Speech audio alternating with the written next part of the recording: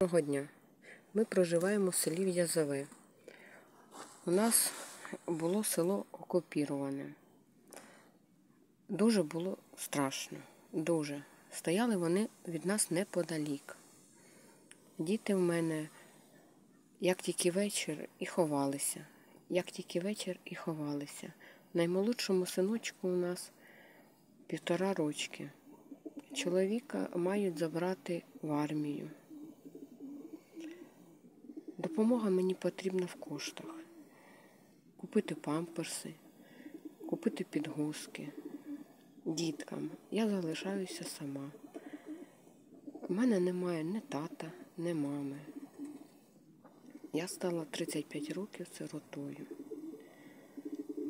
Там було таке питання, що найстрашніше. Найстрашніше це, не дай Боже, вони прорвуться сюди.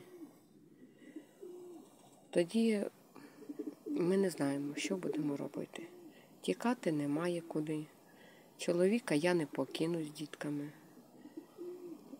Ми не знаємо, що буде. Але ми віримо в Україну, віримо в наше ЗСУ, віримо, що все добре буде. Дякуємо вам.